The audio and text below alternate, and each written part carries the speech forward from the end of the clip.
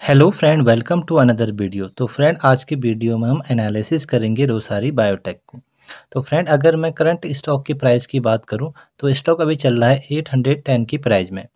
तो फ्रेंड जब से कंपनी लिस्ट हो रखी है, जुलाई 2020 में कंपनी लिस्ट हुई थी, अभी तक अपने इन्वेस्टर को इसने 20 परसेंट का रिटर्न जनरेट करके दे रखा है। अगर मैं पिछले वन ईयर की बात करूँ तो अप्रॉक्स ये स्टॉक अलेवन परसेंट के डिस्काउंट पर ट्रेड कर रहा है। अब हम सबसे पहले कंपनी की फंडामेंटल एनालिसिस करेंगे। अगर मैं कंपनी की फंडामेंटल एनालिसिस देखूँ तो मार्केट कैप कंपनी का निकल के आ रहा है four thousand four hundred sixty seven crore का। अगर मैं कंपनी का पी देखूँ तो वो निकल के आ रहा है forty one point five five का। अगर मैं पी वी रेशियो देखूँ तो वो निकल के आ रहा है फोर पॉइंट एट सेवन का। अगर मैं इंडस्ट्री पे देखूँ कंपनी का, वो निकल के आ रहा है सेवनटीन पॉइंट सिक्स फोर का। अगर मैं डेप्ट टू इक्विटी की बात करूँ तो कंपनी पर बिल्कुल ना के बराबर कर्ज है और कर्ज की बात करूँ वैसे ज़ीरो पॉइंट ज़ीरो एट का है। ये हमारे लिए काफ़ी अच्छी बात है। ये कंपनी काफ़ी स्मॉल कैप है तो कंपनी पर कर्ज ना के बराबर है। अगर मैं रिटर्न ऑन इक्विटी की बात करूँ, वो निकल के आ रहा है ट्वेल्व पॉइंट फोर सेवन के आसपास। अर्निंग पर शेयर की बात करूँ, वो निकल के आ रहा है नाइनटीन पॉइंट फोर सेवन के आसपास। अगर मैं डिविडेंड इल देखूँ कंपनी की वो भी ना के बराबर है ज़ीरो पॉइंट ज़ीरो सिक्स के आसपास है। कंपनी की बुक वैल्यू निकल के आ रही है one hundred sixty five point nine two अगर फेस वैल्यू देखूँ, वो निकल के आ रही है टू अब सबसे पहले हम कंपनी का रिवेन्यू चेक करेंगे और रिवेन्यू हम क्वार्टरली देखते हैं। अगर मैं क्वार्टरली रिवेन्यू देखूँ तो क्वार्टरली रिवेन्यू में हमको कोई ग्रोथ नहीं दिख रही है, बिल्कुल कांस्टेंट बना हुआ है। अगर मैं कंपनी के ईयरली रिवेन्यू चेक करूँ तो शानदार हमको यहाँ से ग्रोथ देखने को मिल रही है।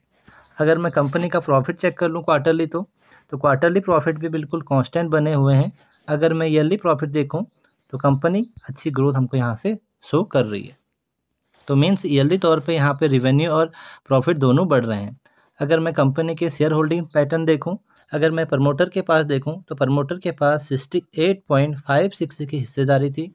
अगर मैं म्यूचुअल फंड को देखूँ तो उनके पास approx eleven point three four की हिस्सेदारी थी और रिटेल के पास टेन पॉइंट ज़ीरो सेवन की हिस्सेदारी थी।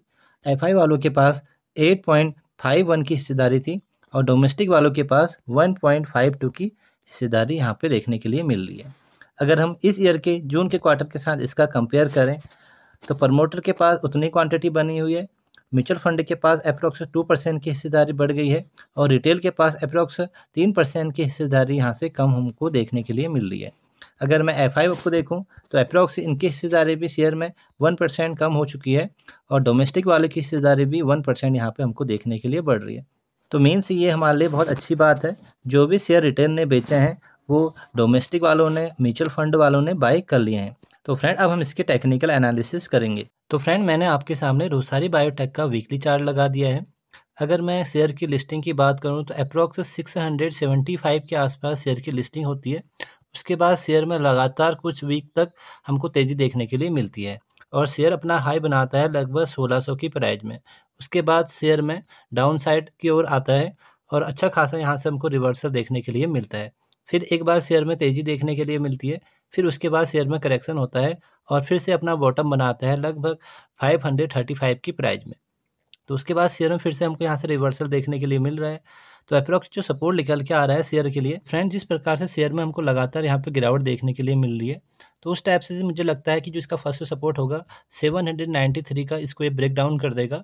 उसके बाद ये सेकेंड सपोर्ट के आसपास जाएगा, इसका जो सेकेंड सपोर्ट निकल के आ रहा है, वो निकल के आ रहा है सिक्स हंड्रेड फिफ्टी के आसपास। तो फ्रेंड अगर आप इस शेयर में बाई करने के बारे में सोच रहे हैं तो एक बार शेयर को अपने सपोर्ट पर आने का वेट कीजिए, तभी यहाँ पर पोजिशन बनाने के बारे में आप सोचिए। अगर मैं RSI इंडिकेटर की बात करूँ तो RSI इंडिकेटर अभी चल रहा है फिफ्टी के आसपास। तो फ्रेंड जब RSI लगभग थर्टी के आसपास आ जाए तो फ्रेंड अगर आर एस थर्टी के आसपास आती है तो आप इस शेयर में पोजीशन बनाने के बारे में अवश्य सोचिए, क्योंकि शेयर में वहाँ से रिवर्सल देखने के लिए हमको मिल रहा है। जब भी आर एस थर्टी के आसपास आती है तो शेयर में रिवर्सल हमको बार बार देखने के लिए मिल रहा है। तो आप कुछ वेट कीजिए। अगर RSI नीचे आ जाती है थर्टी के आसपास तो शेयर की प्राइस भी नीचे आ जाएगी सिक्स हंड्रेड फिफ्टी के आसपास तो आप यहाँ से अपनी पोजीशन बनाने के बारे में सोच सकते हैं। तो फ्रेंड, अब मैं इसकी एनालिसिस करूँगा डेली चार्ट पे। तो फ्रेंड, मैंने आपके सामने डेली का चार्ट लगा दिया है रूसारी बायोटेक का। अगर सबसे पहले मैं मूविंग एवरेज देखूँ, यहाँ पे हंड्रेड डेज़ और टू हंड्रेड डेज़ का मूविंग एवरेज तो फ्रेंड, यहाँ पे शेयर इन दोनों मूविंग एवरेज के ऊपर ट्रेड कर रहा है। ये हमारे लिए डेली चार्ट में बहुत अच्छी बात है। अगर मैं दूसरा इंडिकेटर देखूँ आर वो भी बिल्कुल थर्टी के आसपास है। अगर शेयर में थोड़ा सा भी गिरावट होती है तो यहाँ से आप डेली चार्ट पे देख के यहाँ पे पोजीशन बनाने के बारे में सोच सकते हैं। अगर मैं डेली चार्ट पे देखूँ तो शेयर का जो फ़र्स्ट सपोर्ट निकल के आ रहा है, वो निकल के आ रहा है सेवन हंड्रेड नाइन्टी के आसपास। अगर आप इस जगह पे अपनी पोजीशन बनाते हैं तो यहाँ पे सिर्फ़ अपनी क्वांटिटी का ट्वेंटी परसेंट बाई करिए। अगर आपको यहाँ से फिर से शेयर में गिरावट देखने के लिए मिलती है तो आप नेक्स्ट इंस्टॉलमेंट इस शेयर में सिक्स हंड्रेड फिफ्टी सेवन की प्राइस पे लगाइए। तो फ्रेंड अगर मैं डेली चार्ट पे देखूँ तो डेली चार्ट पे हमको शेयर स्ट्रॉन्ग देखने के लिए मिल रहा है। तो मेरे अकॉर्डिंग डेली चार्ट में देख के मुझे लगता है कि शेयर में अब ज़्यादा गिरावट नहीं होगी, यहाँ से इसमें फ्रेश तेज़ी बनने के संकेत मिल रहे हैं। तो फ्रेंड अगर आप ऊपर वाली प्राइस पे कहीं फंसे पड़े हैं अगर आपकी बाइंग प्राइस कहीं ऊपर के लेवल में है तो आप करंट लेवल में शेयर को एवरेज करने के बारे में सोच सकते हैं, क्योंकि डेली चार्ट पे हमको शेयर स्ट्रॉन्ग देखने के लिए मिल रहा है। तो फ्रेंड अगर आप शेयर में यहाँ पे पोजीशन बनाते हैं करंट प्राइस पे भी आपकी बाइंग रहती है तो यहाँ से आपके लिए फ़र्स्ट टारगेट रहेगा approx one thousand forty seven का। तो यहाँ पे आपको शेयर में थर्टी थ्री परसेंट का प्रॉफिट देखने के लिए मिल रहा है। अगर मैं आपको सेकेंड टारगेट बताऊँ तो सेकेंड टारगेट में शेयर में आपको फोर्टी एट परसेंट का प्रॉफिट हो सकता है। जो आपका टारगेट रहेगा, वो रहेगा one thousand one hundred sixty के आसपास। तो आपको अगर मैं शेयर में थर्ड टारगेट बताऊँ तो थर्ड टारगेट में शेयर में आपको सेवेंटी टू परसेंट का प्रॉफिट देखने के लिए मिल सकता है। तो आपका टारगेट रहेगा, वो रहेगा one thousand three hundred fifty one के आसपास। अगर मैं आपको शेयर का फ़ोटो टारगेट बताऊँ, ये रहेगा इसका ऑल टाइम हाई तो इस बार शेयर में आपको लगभग 105 परसेंट का रिटर्न देखने के लिए मिल सकता है करंट प्राइस से।